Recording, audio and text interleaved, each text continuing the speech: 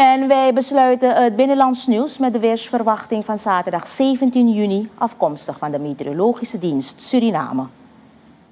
In de avond komen er overwegend in het binnenland enkele regenbuien en mogelijk onweer voor.